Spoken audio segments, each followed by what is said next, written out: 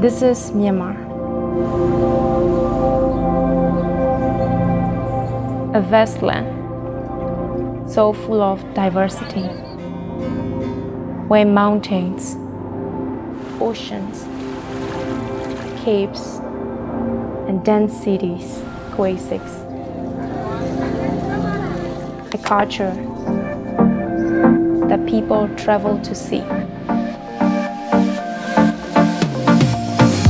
Festival so bright, colorful, and mysterious. The world has never seen.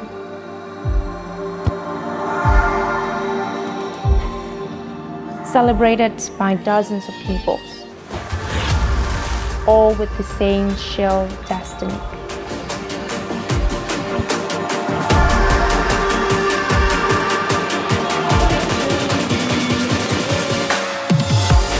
Rich and poor live on the same streets, painted red with betel nut spit. A country coming out of decades of isolation.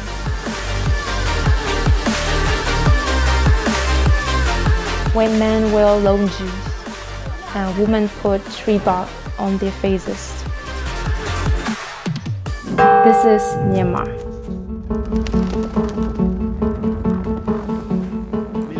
The same state over parts of northern Myanmar. A country with many challenges, it seems.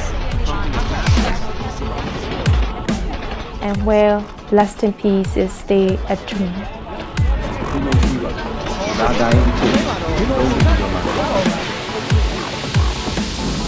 Climate change is like a ticking time bomb.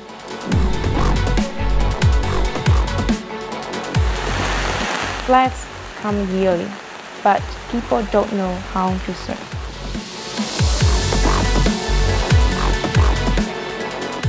Technology, as good and new as it may be, might one day leave millions out of work. Many have left in search of greener pastures, better opportunities, and the comforts of modernity. But alas, we never used to shine away from bold challenges, big dreams, and even the seemingly impossible. So why should we now? COVID-19 way of flight from the southern China have been ordered to shut. This is Myanmar. A place once home to many Asian kingdoms.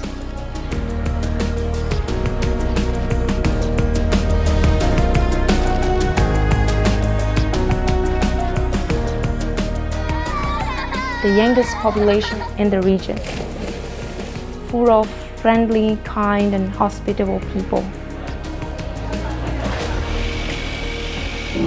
churches, temples, mosques, and synagogues, pagodas ancient, old and new, the cities call out to you. Bullock carts, horses, dongbing, taxi, and trishaws you might see, all driven by people so hungry for the progress they want to see.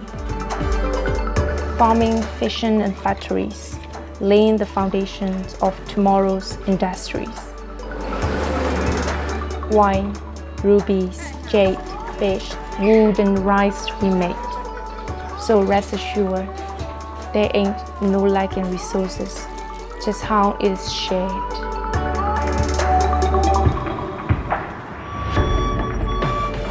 Art, sport, and culture can flourish, just like the dreams of you and me. We might be later than others, but we will learn from them and walk with them. The future is uncertain, but our citizens are committed to development on our own terms.